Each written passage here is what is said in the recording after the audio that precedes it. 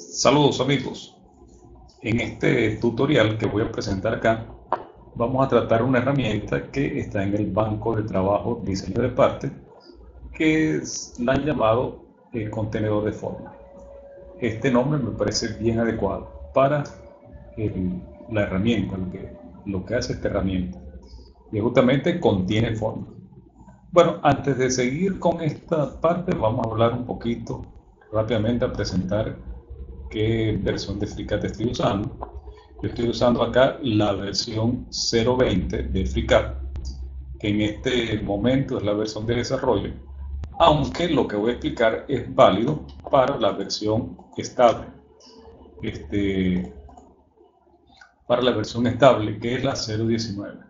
Entonces, eh, no se preocupen si no tienen esta versión, y bueno, los invito a que le echen un vistazo si están usando la versión estable.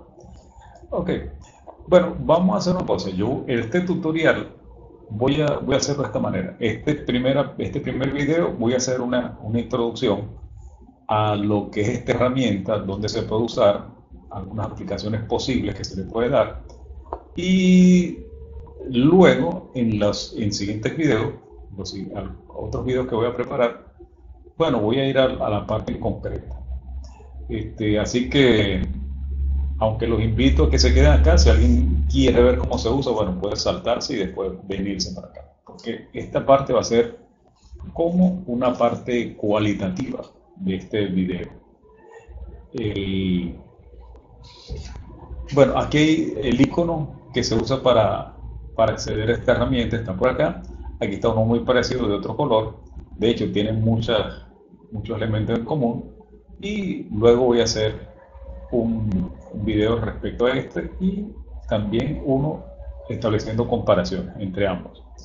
Entonces, este, bueno, vamos aquí en la parte esta de, de esto de contenedor de forma. ¿Qué, qué, es, ¿Qué, es, eso? Bueno, aquí todos los objetos que tenemos, que estamos manejando aquí en FreeCAD, tienen una forma no sé si estoy arriesgándome a decir todo, pero bueno, eh, una gran mayoría de los objetos que se crean acá en, en FreeCAD tienen formas. Bueno, esa forma en abstracto ¿sí? se puede almacenar en este contenedor. Es una herramienta, de este, es un, objeto de este tipo, contenedor de forma. Lo que sí también hay que tener eh, presente de que para poder crear un contenedor de formas, hace falta tener un cuerpo ¿sí? en, el, en nuestro proyecto, un cuerpo que esté activo. Y en ese cuerpo se va a, alejar, se va a alojar justamente el contenedor de forma. Ok, por ejemplo, ¿qué puede tener forma acá? ¿Y para qué puede servir esto? Bueno, cualquier cuerpo, vamos a, aquí podemos usar este icono, esta, esta, esta imagen. Digamos que esto representa un cubo este cubo tiene una forma. Pues. Entonces, toda la forma del cubo, y estoy hablando de la forma, no el cubo como tal, sino la forma del cubo, ¿sí? la parte esa abstracta, ¿sí? la forma es una cualidad del cubo, se puede almacenar en, en un objeto de este tipo.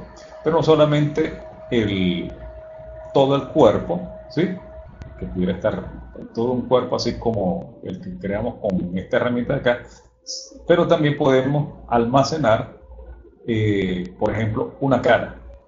O podemos almacenar dos caras, tres caras en el contenedor de forma. Además podemos almacenar aristas. O podemos almacenar puntos. Los que querramos respecto a un cuerpo en particular, lo podemos eh, almacenar, lo podemos ubicar en el contenedor de forma. Y después vamos a ver para qué pudiera servir esto. Por ejemplo, una de las aplicaciones que se me ocurre ahora es, digamos que estamos creando, tenemos un proyecto donde tenemos, eh, nuestro proyecto es crear un ensamblaje de distintas partes que mejor si no si están fijas una respecto a la otra. Entonces, podemos crear una, digamos que creamos un cubo acá, en un cuerpo, y digamos que sobre ese cubo queremos crear un cilindro. Entonces creamos otro cuerpo, utilizamos el contenedor de forma y sobre la forma esa podemos crear, por ejemplo, un, el cilindro. Vamos a dejar esto por ahora hasta acá y vamos a seguir en el siguiente video. Mientras tanto, la invitación a que se suscriban a mis canales de Odyssey y de YouTube, a que le den a la campanita para que, estén, para que les avisen que compartan y que le den like si les gustó y si no les gustó, le den dislike.